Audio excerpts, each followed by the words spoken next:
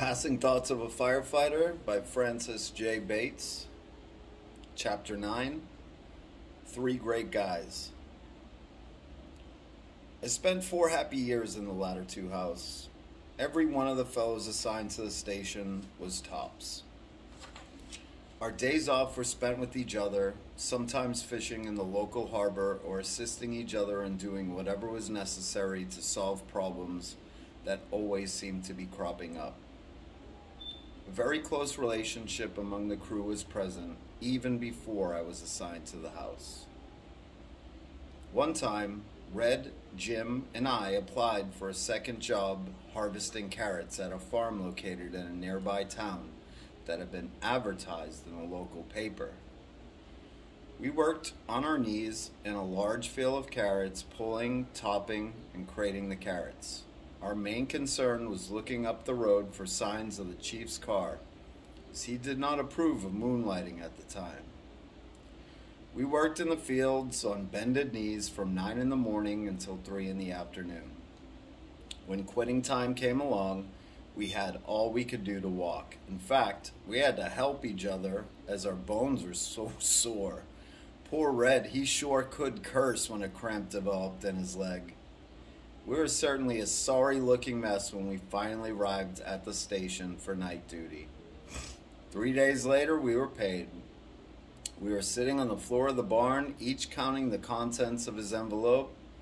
We all agreed that a mistake had been made, as all of us were short. The person in charge of the farm was found, and we told him of our problem.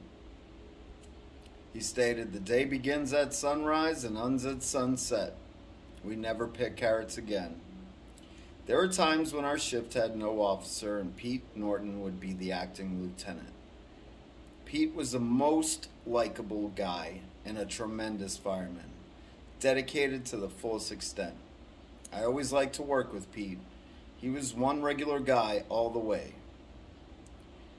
Peter later died from injuries received at a multiple alarm in 1963. Pete was instrumental in convincing me to hit the books for a promotion.